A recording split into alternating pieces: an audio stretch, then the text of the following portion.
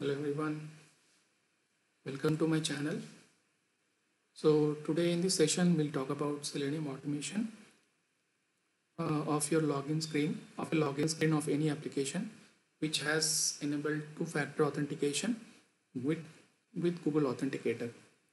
So this is a challenging use case where you've been asked to automate a web page but you can't log in because it requires two-factor authentication right and most of the applications of current enterprise companies they normally have two-factor authentication enabled and they have made it mandatory. So how will you proceed? So in this case google authenticator is one of the best option to start to continue with this process. So what is google authenticator?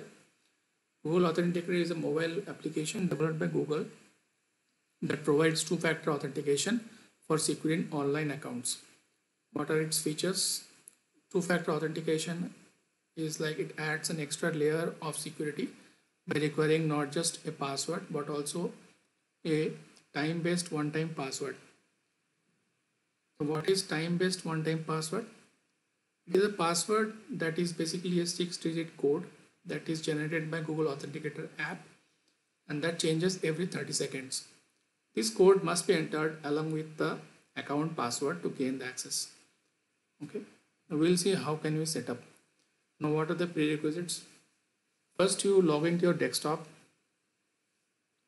go to your local setup, local desktop and go to your um, environmental variables, set, create a couple of environmental variables. One is Google username, Google password and another variable Google security key now, how will you get Google security key? For this, there are some pre prerequisites.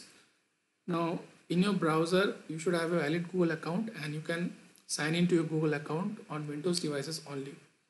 Okay, make sure um, you log out from from your Google account in from all your mobile devices. Okay, now what is the process to set up your Google Authenticator app setup? Um, log into your Google security page first then click on two-step verification. now process to log in again to view the two-step verification page. This is the step below like scroll down and click Google Authenticator setup. Choose your platform, Android or iPhone and click next. Click can't scan it, scan it again option to grab your security key and click next. Copy the security key. This security key you will need it for your automation and uh, now next step is that you should install Google Authenticator app in your Android or iPhone. Now open the app and click on plus icon. Choose enter a setup key, enter account name, enter a security key generated, type the key and click on add button. Navigate back to two-step verification page, enter the .p verification verification code generated in the Authenticator app, click to verify, click on done and Google Authenticator app has been set up successfully. So this is the step like you will need to have a Google Authenticator app set up in your Android or iPhone to make sure um, you can you have you have set up correctly using the security key which you have got from your Windows machine and uh, that is needed for, to continue the automation. Now the next step is how will you automate?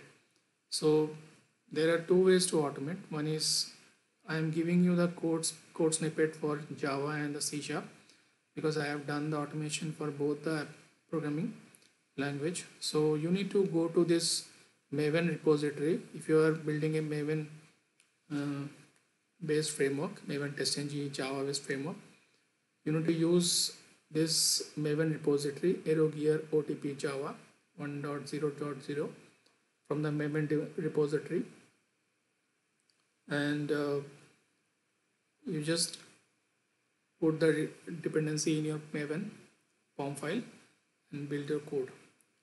Once that is done you should write a small three uh, small piece of code like this.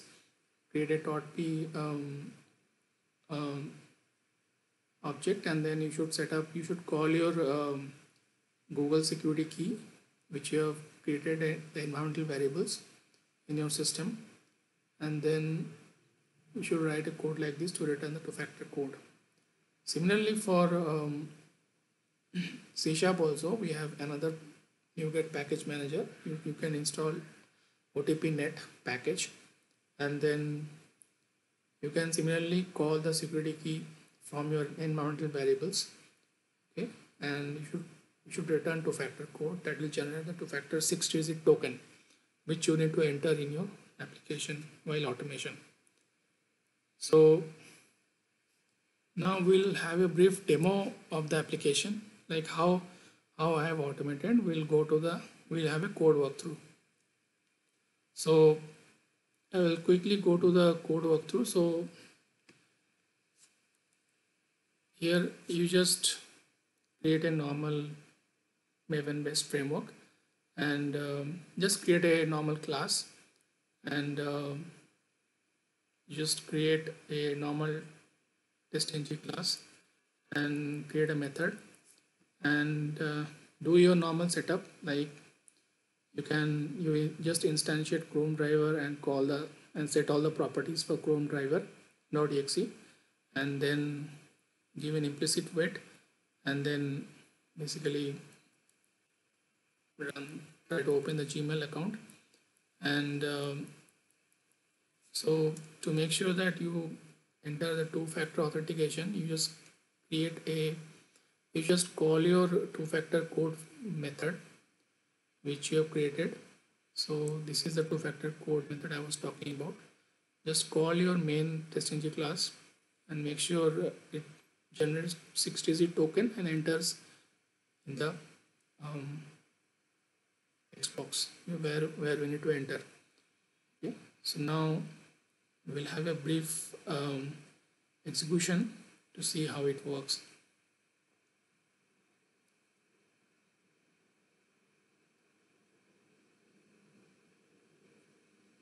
So my chrome driver has launched.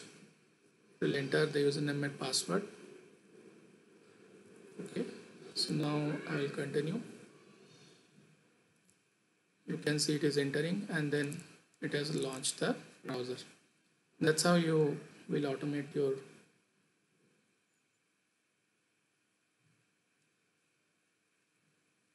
Google authentication. So I'll do it one more time to see if it works again.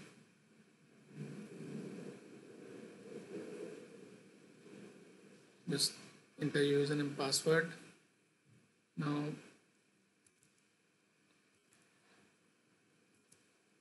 enter the password.